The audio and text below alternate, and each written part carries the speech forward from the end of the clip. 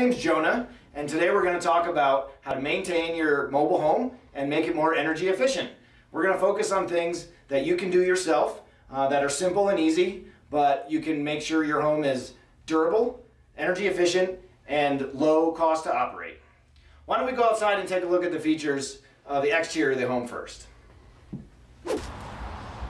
This is a typical example of a mobile home. Yours may not look exactly like this, but the features are basically the same. We have a pitched shingled roof, we have walls with wooden siding, and underneath there's the floor structure that's often called the underbelly. In the roof, there's asphalt shingles on top that protect the home from moisture. Inside is usually a decent layer of insulation, and then inside the home is the drywall ceiling that you typically look at when you look at the ceiling. One important feature to watch out for are water leaks in, in a mobile home. Periodically check the roof shingles for any damage, any penetrations that don't have good seal, or any shingles that are cracking, cupping, or sagging sheathing underneath the shingles. These are all indications that there could be a water leak. You may not notice a leak inside the home, but you could see some evidence of perhaps staining on the ceiling, sagging drywall, soft paint. Uh, obviously, if it rains and it's dripping, you've got a leak. It's important to fix those immediately so that no mold will grow and the insulation is protected inside the ceiling cavity. You may be able to do that yourself if you're comfortable getting on a roof. It may take a professional to reshingle the entire roof if it's that bad. Up to you. Your roof of your home may look different than this roof. Older mobile homes often have a rounded or flat metal roof. These are very important to keep sealed as they're more susceptible to water leaks. I suggest using a paintable elastomeric coating that you can find at almost any home center. You can apply it with a paintbrush or a roller, and at a minimum, I would recommend painting it on any penetration, all of the seams, and all of the edges around the home. But I would also recommend that if you have the money and the time to paint the entire roof. This does two things. It creates a much better seal for the entire roof structure, but it also reflects the sunlight in the summertime and keeps the house cooler. It's also important if your home has gutters to maintain the gutters. I would suggest cleaning out any mud, leaves, sticks, debris, and ensuring the downspouts are well connected and drain away from the home. The next feature of your home are the wall structure.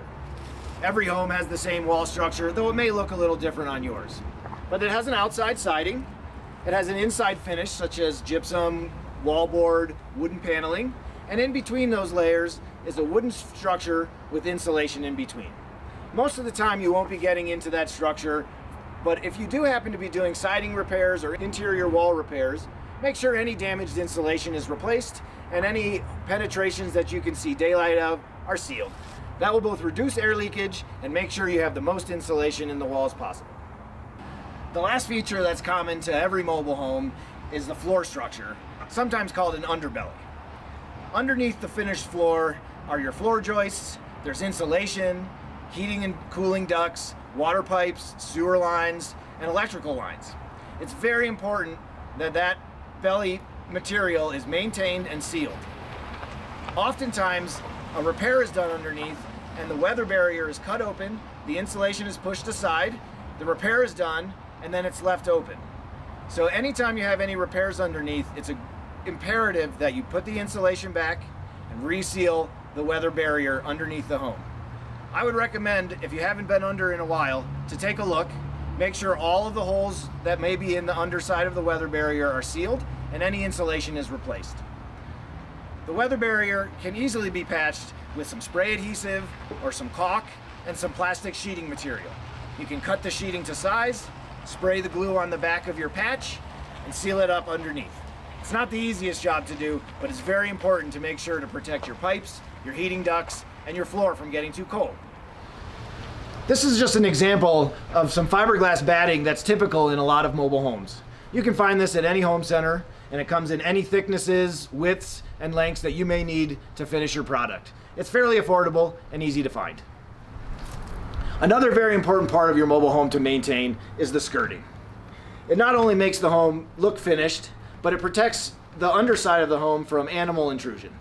Animals love to get under there and they can damage the insulation or the weather barrier, or they can just get trapped. This is very easy to find, though you may have to look around at a mobile home specialty store, but it's very common.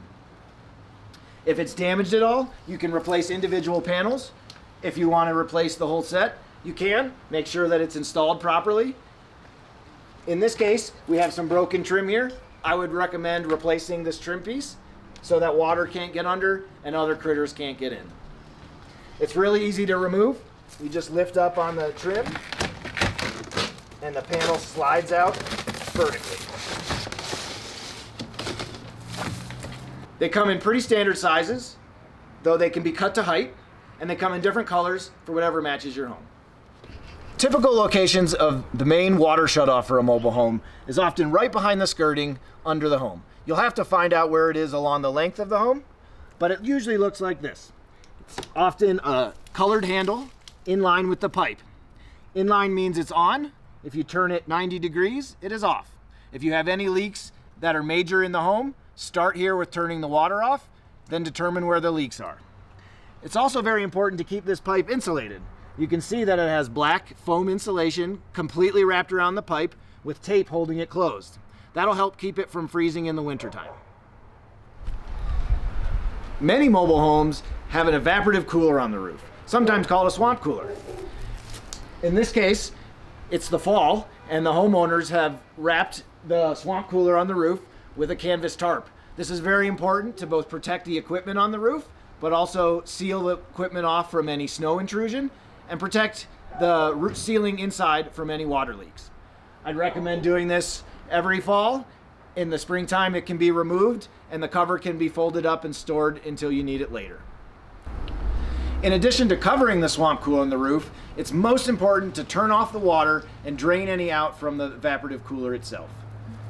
You'll find a water line, usually a quarter inch copper or plastic tubing. This one is hooked right to the hose connection. And this supplies water to the swamp cooler when it's in operation. In the wintertime, you need to turn the water off, drain the water out of the swamp cooler on the roof, and disconnect the hose from the swamp cooler to prevent freezing.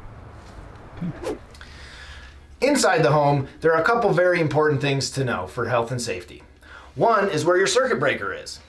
This one happens to be behind a panel in the hallway. You may find one hidden in a closet, in the kitchen, but you should know where it is in case something happens with the electricity.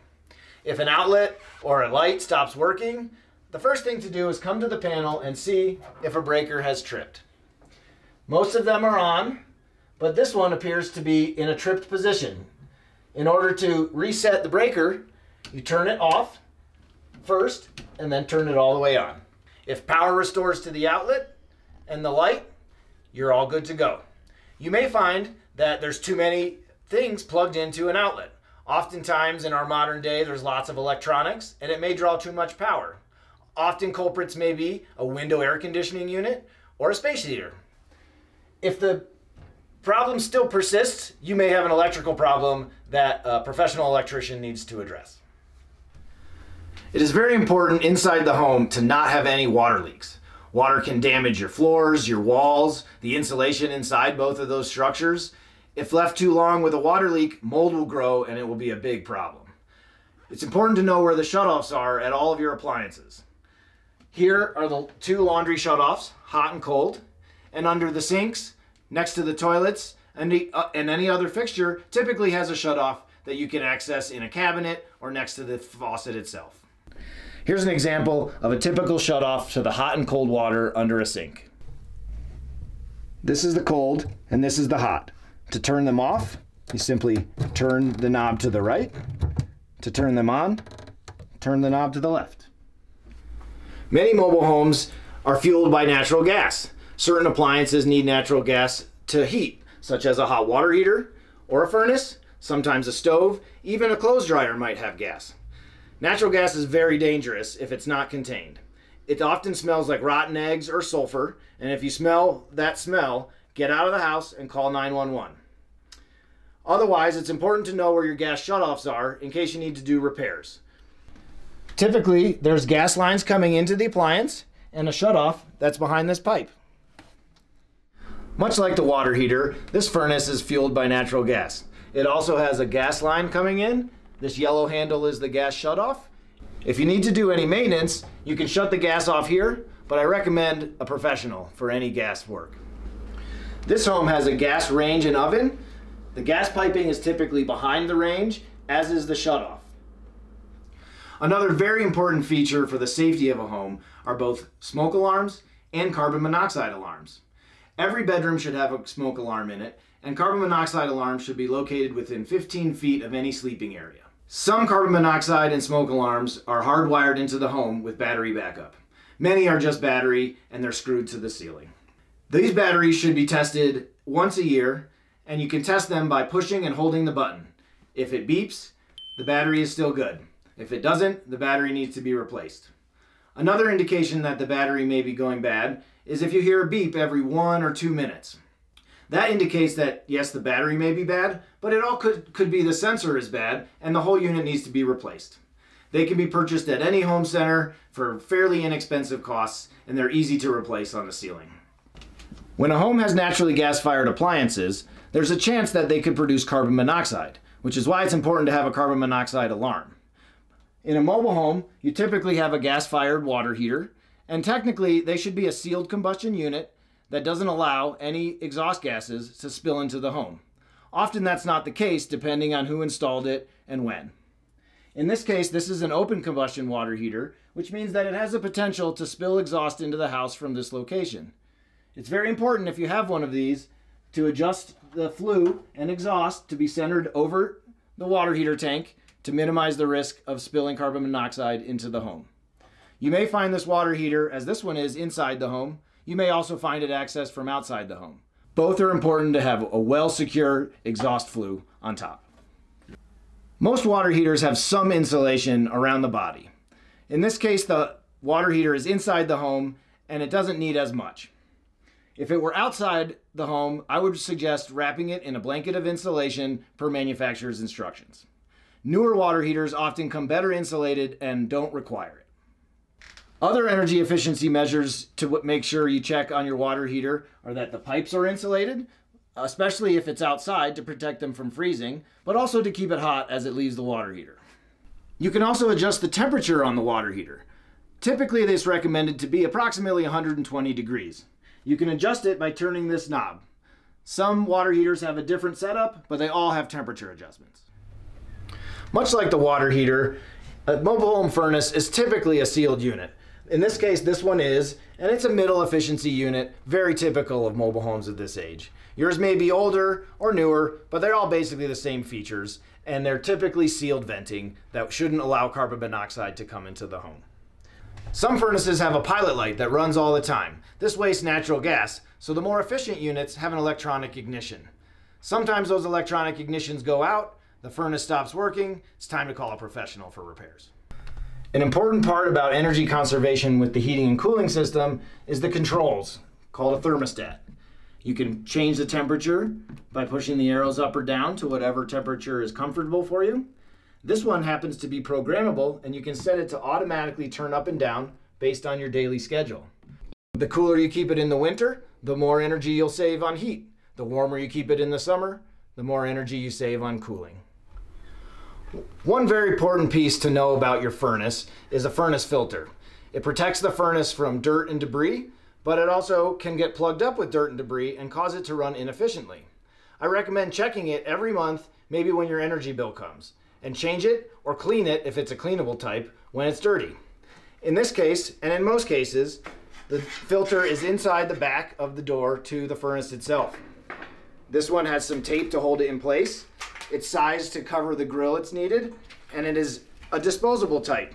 Doesn't look too bad, but it might be time to change. You can buy the same size, which is usually noted on the filter itself, or you can buy a cleanable type that you can cut to size, wash every time, and reuse forever. You can also get pleated types that do a little bit better filtration, but they get plugged up faster, so you might have to change it more often. The important parts are that they're the right size and that they're installed properly in the back of the door to not allow any dirt or debris to pass around it as the furnace is running. Besides a well insulated home, it's very important to air seal the home. You can hire a professional to do an air leakage test and point out where lots of leaks are coming from, but most of the time you can figure it out for yourself. Common culprits are around windows and doors. If you can see daylight or feel cold air coming through around the door, I suggest using some foam weather stripping tape. It's really easy to apply and fairly inexpensive to get. In this case, the weather stripping is worn and not sealing well against the door. Weather stripping like this comes in many different thicknesses and widths depending on your needs. It's really easy to apply. You just cut off the section that you need. I'll do a small example. You peel off the backing and stick the adhesive side to where the door meets the jamb. After installing the weather stripping, make sure the door still closes and latches. If you can still see daylight, you may need to double up the thickness or get a thicker tape. Another very common area of air leakage is around windows. For sealing up gaps and cracks around windows, I suggest an all-purpose acrylic latex window and door caulk. Cheap and easy to find. If you need to seal the outside from water, I suggest 100% silicone caulk. Caulk is very easy to apply. You'll need a few simple tools. A knife to cut open the caulk tube, and a caulk gun to apply. First, take the knife and cut the tip of the caulk tube at way at the end. You don't want a big hole or you'll make a big mess. On most caulk guns, there's a poker that you can slide into the tip to break the seal of the caulk tube. Pull the caulk gun back load the tube in, slide the plunger. When you're ready to start caulking, you squeeze the trigger and apply where you need to. When applying caulk, you don't want to seal the moving parts of the window, but you do want to seal where the window meets the sill or the jamb. Point the tip into the spot where you want to apply the caulk. Gently pull the trigger until caulk starts to come out of the tube and slowly move along. You don't want to apply too much.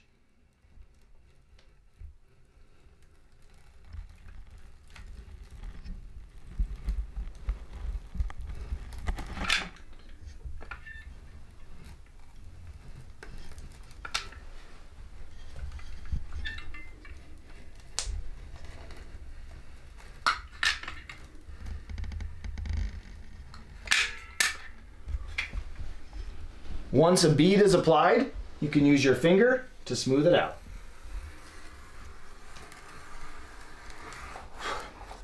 If after caulking your windows, they still feel drafty, you may have air leakage coming from the operable part of the windows, which you can't caulk. An easy way to fix that, though temporary, is a window film kit.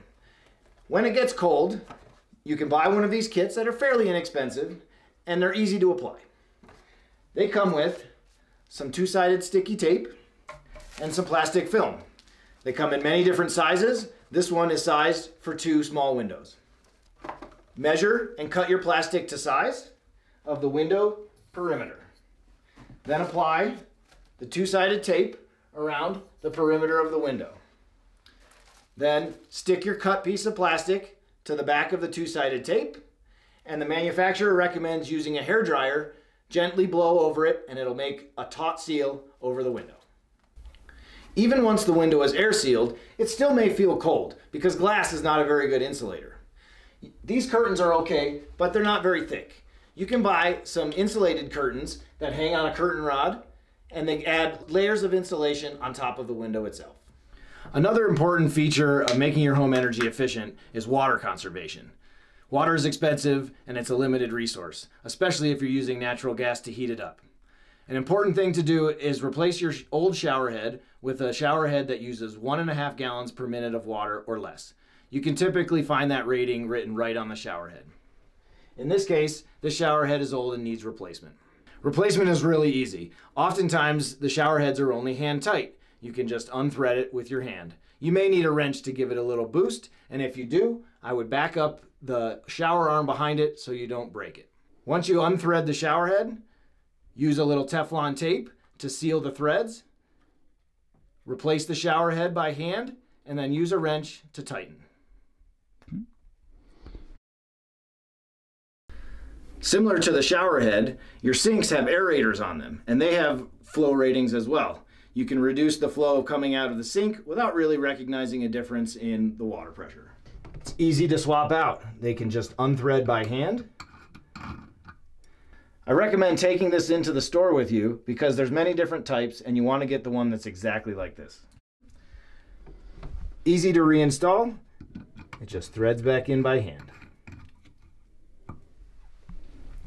Another important thing about water conservation in the home is to make sure you do full loads of laundry. And most of the time, cold water is good enough. You don't need hot. One of the most expensive bills in the home can be your electric bill. There's a lot of ways you can reduce that. One of the biggest users of electricity is often your refrigerator. And if you're going to replace your refrigerator, I would recommend getting one that is an Energy Star rated. Also important is swapping out old incandescent light bulbs and even compact fluorescent light bulbs with LED bulbs. There's millions of varieties. Make sure you get the ones that fit your fixture. Another big user of electricity in your home is the clothes dryer. The best way to conserve energy there is to hang your clothes outside when it's sunny and warm. In our climate, it's wonderful. But if you use your dryer, make sure to clean the lint trap after every use and every now and then disconnect the venting from the back of the dryer and ensure that's clean and clear. Every fridge works basically on the same principle, even with an Energy Star rated appliance. The back of the fridge has a coil that releases all the heat that's drawn from inside the fridge to keep your food cool. It often gets co covered in dust and dirt. It's important to keep that clean. So every so often, I recommend pulling the refrigerator out as I have here, using a brush that you can find at any hardware store, gently clean off the dust, and you can go over it at the end with a shop vac or a vacuum cleaner. Be sure to get the front and the back of all the coils until it's clean. You shouldn't have to do this often, but it's worth checking periodically and it helps the efficiency of the fridge. So those are the basic features of any mobile home and a bunch of great ideas to help keep the home safe and energy efficient. There's plenty of resources online to find more information about any of these topics and books at the library if for more information to mobile home specific do-it-yourself projects.